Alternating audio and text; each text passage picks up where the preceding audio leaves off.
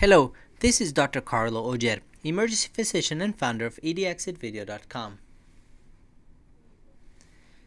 This video is about epiglottitis. Epiglottitis is an inflammation of the tissue that covers the trachea, which is the windpipe. This disease is a life-threatening disease.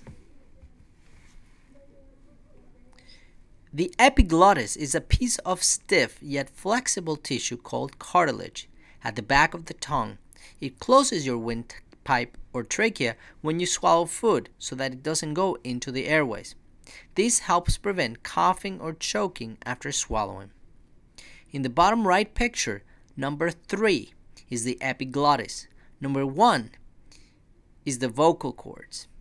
And as you can see, the epiglottis will fall like a flap onto that hole to prevent food or particles entering the windpipe.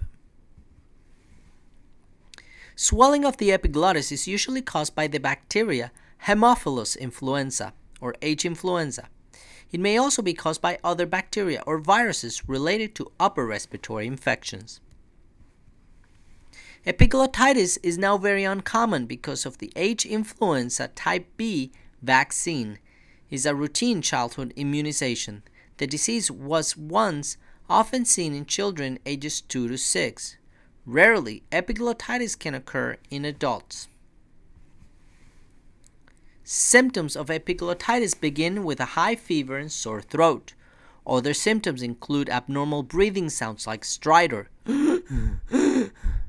chills, shaking, cyanosis or blue discoloration of the skin, drooling, difficulty breathing, difficulty swallowing, and hoarseness. The healthcare provider may examine the voice box or larynx using either a small mirror held against the back of the throat or a viewing tube called laryngoscope.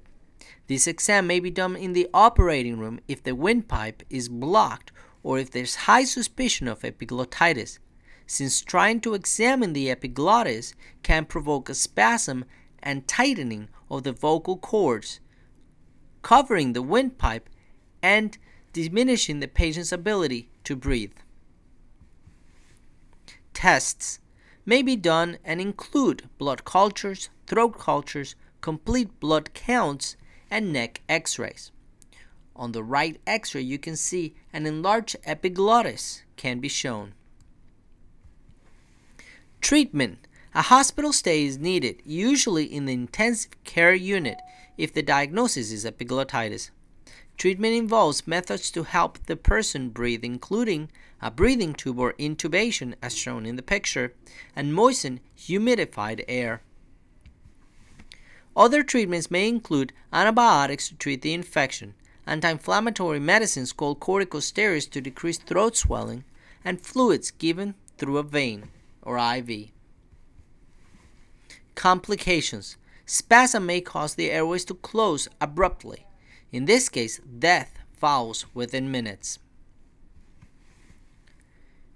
If you have symptoms or your child has symptoms, including sudden breathing difficulties, excessive drooling, irritability, fevers, chills, they had a recent upper respiratory infection and are having these symptoms, please come to the emergency room immediately or call 911.